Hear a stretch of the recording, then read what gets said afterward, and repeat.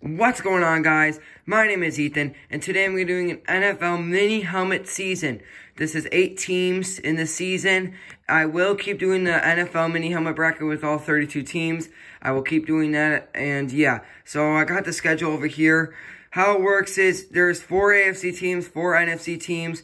They, for well, for example, use the Green Bay Packers. The Green Bay Packers will play the Seahawks, Giants, and Falcons, and two teams from the AFC. And yeah, so this is the these are the teams in the season.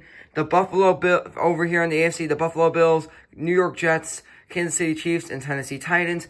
Over here on the NFC side, the Green Bay Packers, Seattle Seahawks, New York Giants, and Atlanta Falcons. Now, the schedule, each team, there's five weeks. Each team will have five games. Week one, Falcons and Packers, Bills, Chiefs, Jets, Titans, Seahawks, Giants. Week two, the Packers and Bills, Chiefs, Jets, Giants, Titans, Seahawks, Falcons. Week three, Titans and Seahawks, Bills and Giants, Falcons and Chiefs, Jets and Packers. Week four, Bills and Titans, Giants and Packers, Seahawks and Chiefs, Falcons and Jets. And week five, Packers, Seahawks, Giants, Falcons, Chiefs, Titans, and Jets versus the Bills. Thank you guys for watching, and make sure you guys have a great rest of your day. And yeah, hope you guys enjoy. And yeah, this is going to be the mini helmet season with eight teams. These are the eight teams in the mini helmet season.